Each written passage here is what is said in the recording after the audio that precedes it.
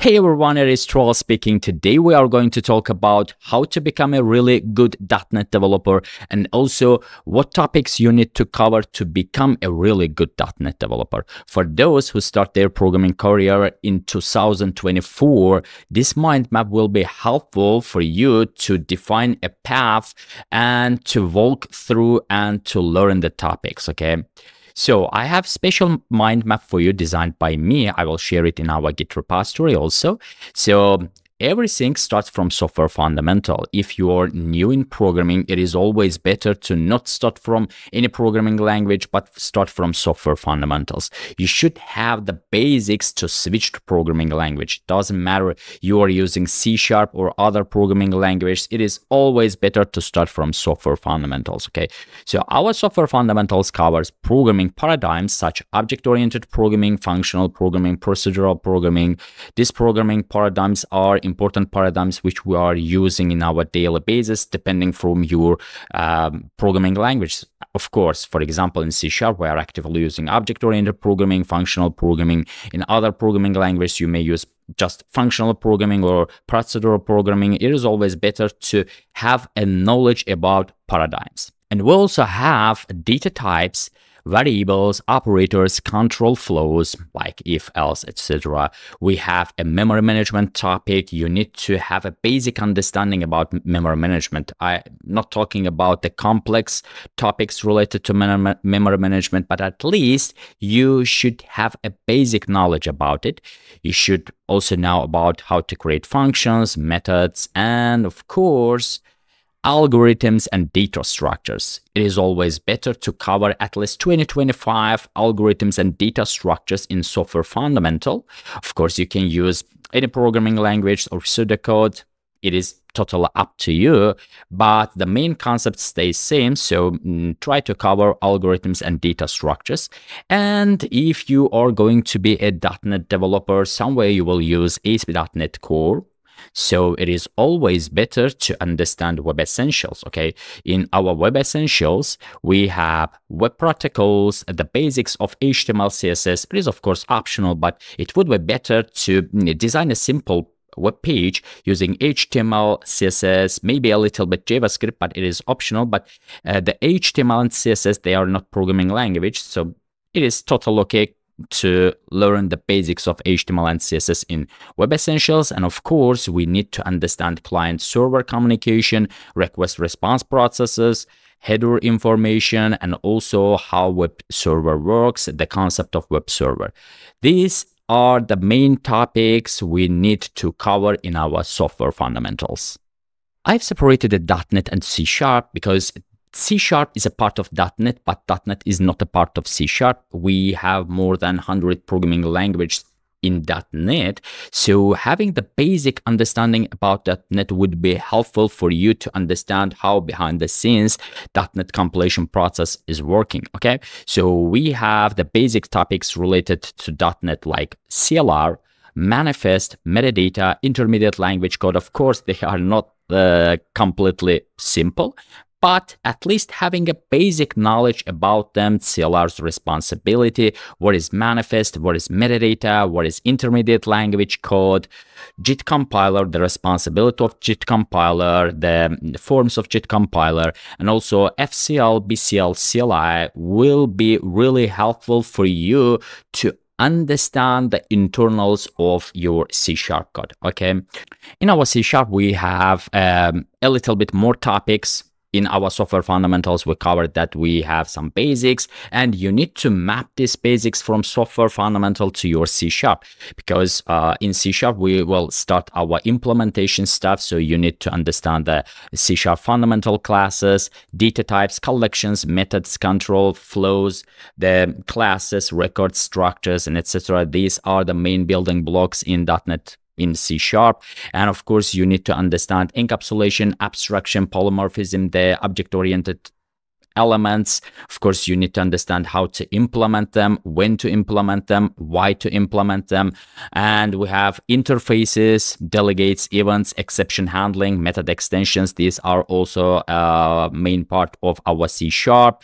And of course, mostly we are using um, uh, some sort of databases you, and we are uh, having some wrapper over our database. Unfortunately, we are not directly using uh, SQL command, SQL data reader, etc. to manipulate to database and we have ORMs. You can learn Dapper, but for me, my preferable um, ORM is going to be Entity Framework, but it is totally up to you. But at least having one ORM in your arsenal will be helpful to learn another.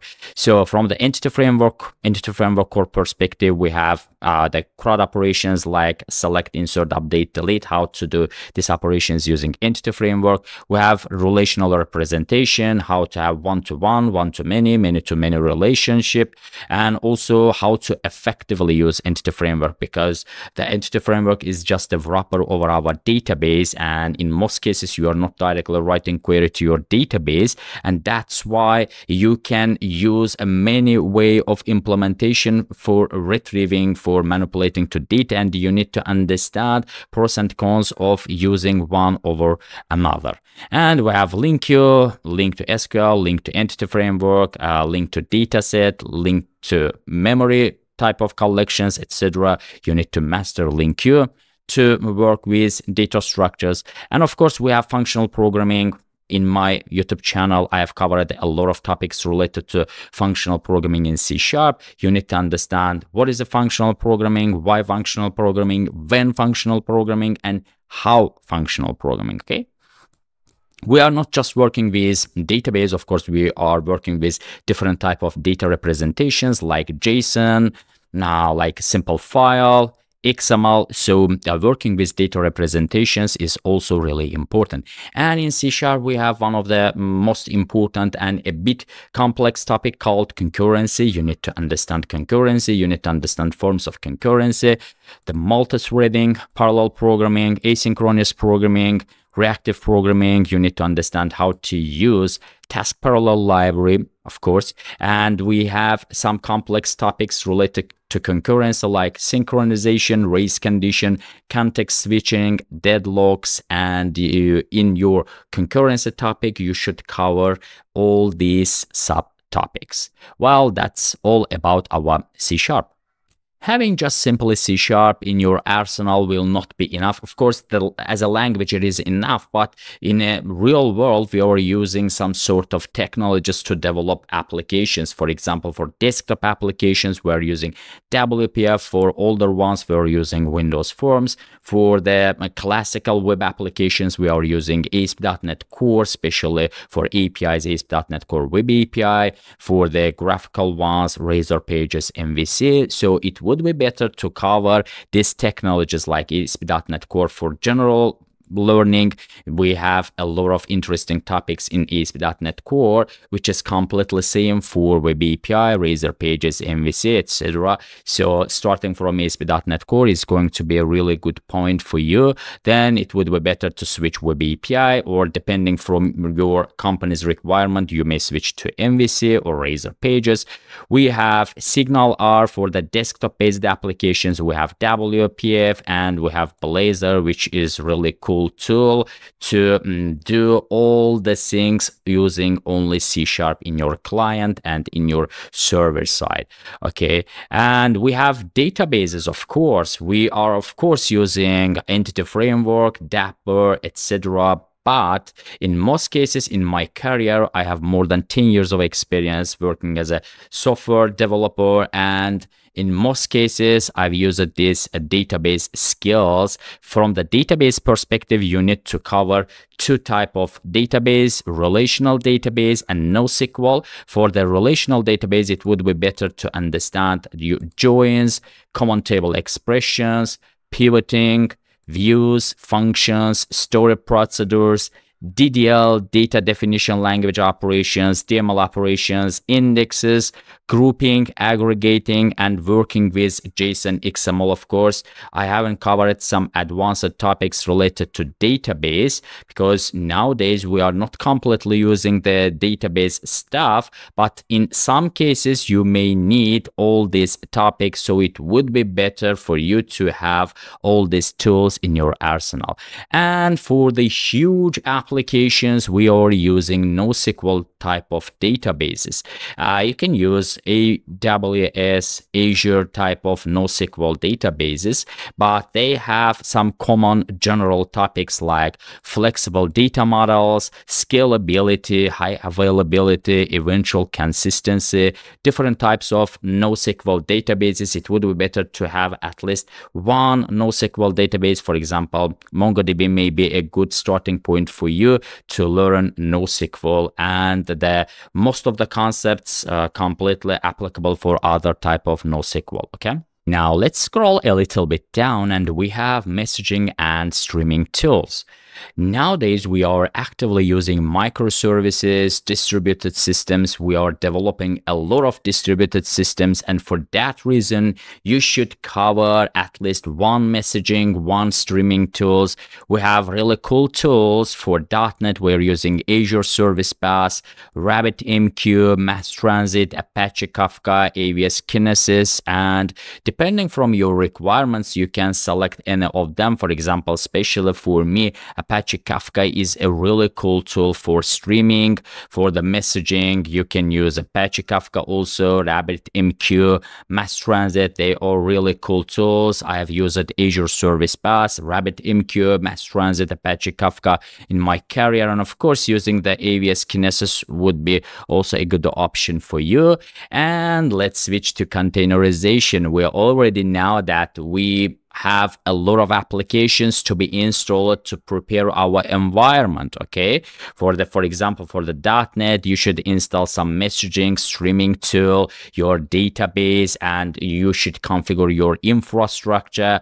And all this stuff requires a lot of installation process which our containerization covers and helps us to not to install every time the same applications. And for the containerization my mm, I prefer to learn Docker, and for the orchestration, I prefer to learn Kubernetes. And in most cases, people use Docker and Kubernetes, these terms together. From the Docker perspective, it would be really cool for you to learn the essentials, why, how, when to use Docker, the basic commands, and of course, Docker Compose. Without Docker Compose, it would be really hard for us to prepare our services, our infrastructure. From the Kubernetes perspective, you may cover some essential topics like clusters, pods, deployment, services, namespaces, networking, scaling, storage. They may sound a little bit scary, but when you dive into details, you see that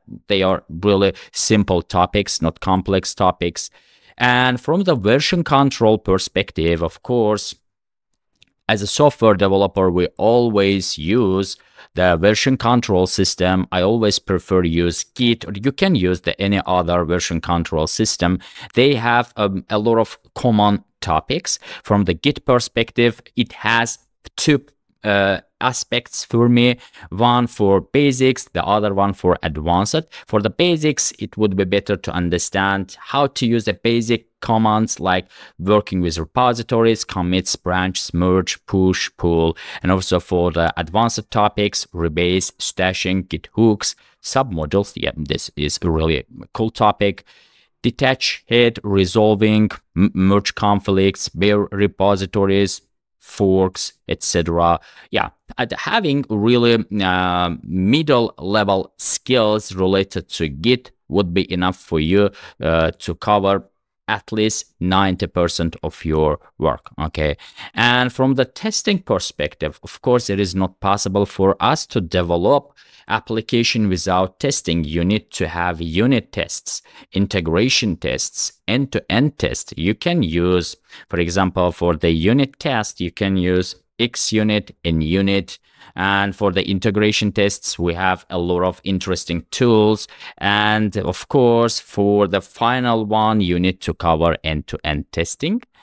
The last in our mind map is going to be design and architecture. It is last, but for me, it is one of the important topics you need to cover to become a really good .NET developer, okay?